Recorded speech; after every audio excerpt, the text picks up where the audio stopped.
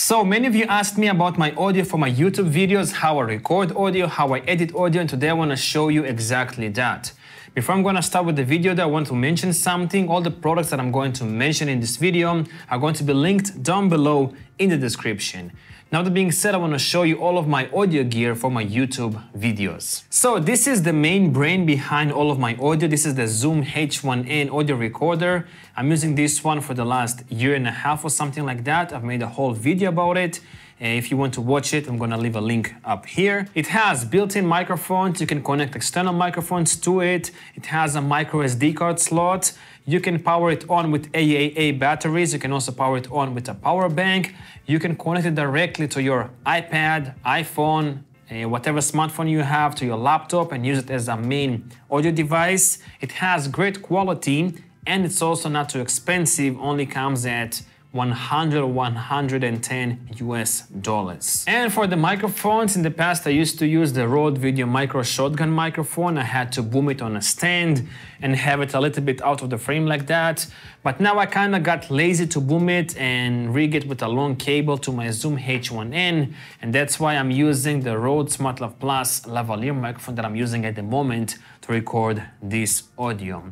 This microphone is just much more versatile than the Rode Video Micro. And also with the Rode Video Micro, you need to have a lot, a lot of acoustic foam in your room or a lot of blankets or mattresses or something like that, soft material items to kind of have really great audio quality. And my room is kind of echoey and because of that, the Rode SmartLav Plus works better for my kind of situations. All right, so now I wanna show you how I import my audio, how I edit my audio on my iPad Pro. And by the way, everything that I'm going to show in the iPad is also going to work on any iPhone. All right, so I have here a dongle with a micro SD card and inside the micro SD card I have an audio file from the Zoom H1n with a Rode SmartLav Plus lavalier microphone. I'm gonna plug it to my iPad Pro, go to the Files app, move the file on my iPad, copy. Now I have the file on my iPad. I'm gonna close this window, remove the dongle. Now for the software, I'm using Ferrite Recording Studio. Let me show it to you. I have it here already opened uh, in my Apple Store. Ferrite Recording Studio. I think this app costs like $30 or something like that highly recommend this uh, application if you're going to edit a lot of audio on your iPad. All right, so now let's open Ferrite Recording Studio. Let's go and import an audio, files, Zoom 001.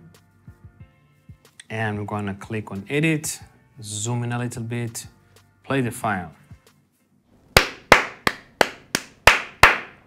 So first thing that you can hear is that I'm clapping and I'm doing this for every single video before I'm actually starting to talk uh, in the video because I want to synchronize easier in post-production uh, the audio to my video. The next part that I'm doing is I'm going to effects and I am importing ToneBoosters, equalizer, barricade, and Klevgrand Bruce Free. And with equalizer, I'm basically EQing my audio Barricade, it's compressing my audio. Brusfri is noise reduction. All three of these uh, plugins are paid. I think Equalizer by ToneBoosters is around $5, Barricade is around $5 again, and Brusfri is around $20. But Brusfri is the best noise reduction application on App Store, in my personal opinion. So let's go to the Equalizer. I already have a preset for this microphone okay, Rode SmartLav Plus. And this is how I equalized uh, the audio for this microphone. Okay, you can play around with the settings as you want to. Click done. And then I'm going to effects, barricade. Then again, I have a preset for my Rode SmartLav Plus. I'm gonna click on that. This is an audio test with the Zoom H1n audio recorder and with the Rode SmartLav Plus lavalier microphone. How does it sound? Check. Now, the last thing that I'm doing is I'm using Brusfri. So we're gonna go to the quiet part and I'm gonna click on effects, Brusfri. now I'm gonna click play and hold the, this ear button. And You're gonna see it's gonna learn noise and it's gonna remove the background noise from my air conditioner and stuff.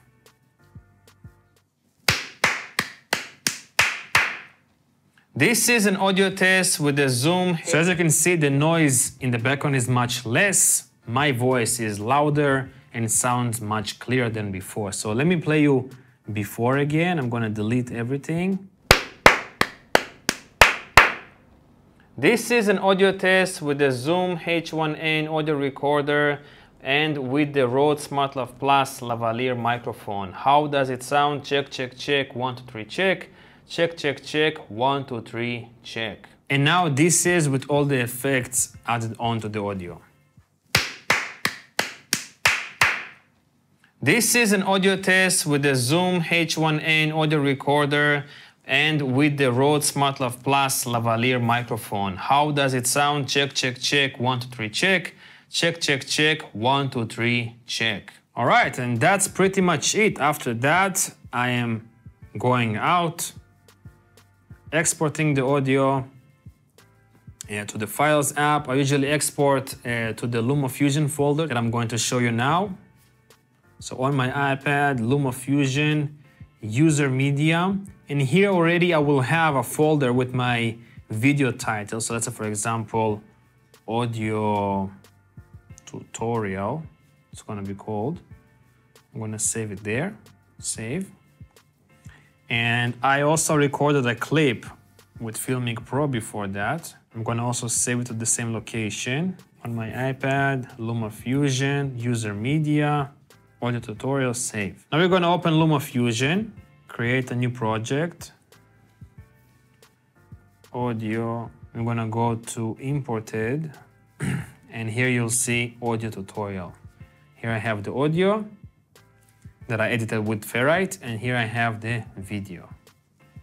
I'm gonna import the video, and this is recorded with my iPad Pro. And here you can see I'm clapping.